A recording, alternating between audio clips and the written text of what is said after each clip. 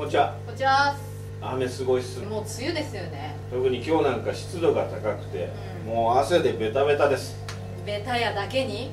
お客さんからよく質問されることで、はい。ベタに最適な入れ物。気になる。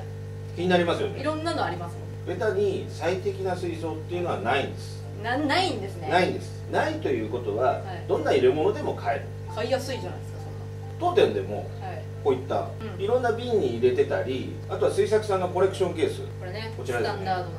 どの入れ物でもベタは買えてますなのでベタに向いてる水槽っていうのはどれでもいい。ただしはい。瓶っていうのは、うん。これからの時期夏に向けては保温がいらないのでこのまま飼うことができる。冬場なんですけどヒーターが必要になります。ベタは熱帯魚なんで、冬場は保温しなきゃいけないんですけど、うん。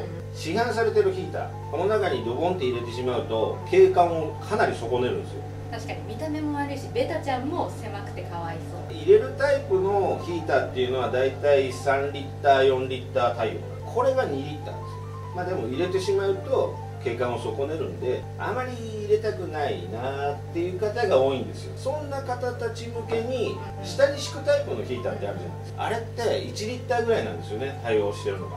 そこがぺったんこな水槽じゃないと効かないんです。へこんでたらダメってわけですね。そうですね。接地面が少なくて温まらないんです。そういう場合はお家のエアコンうん。ピッと設定してもらうと室温で大体26度ぐらい、うん27度ぐらいに設定すると水温は25度になりますのでエアコンで管理してください。めっちゃ楽勝じゃないですか。あのタイだと高温の室温ないですよ、確かにずっと暑いですもんね。以前あのタイのファームに行った時のお話してると思うんですけど、はいはい。一面瓶が並んでるっていうお話、あの瓶なんですけど、うん実はメコンっていう安いウイスキーの瓶なんです。マジですか。それえどうやって集めてるんですか。飲んでんじゃないですか。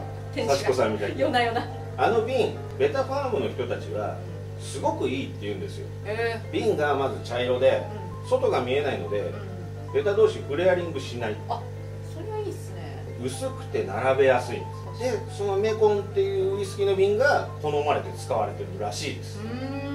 何でもいい入れ物っていうのに入れて飼育しているわけなんでうん。日本でもそれは可能なんですねペットボトルもありですか？口が狭いんですけど、はい。そこにベタさん入れば何でもいいです。お。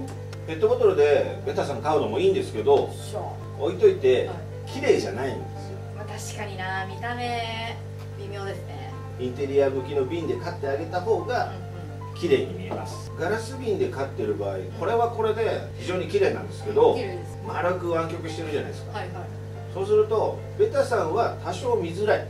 確かにちょっとブワーって伸びたりしますね端っこ行くとどこにいるか分かんなくなったり、はいそういうことがありますけど、うやっぱりガラス瓶とかの方が僕は好きなんです。なんかちょっと曲がった感じのベタもいいですからね。ベタを買っててやっぱベタをちゃんと見たい。そういう方はですねこういう平面がある。入れ物ですね、はいはいはいそうするとベタさんははっきり見えます。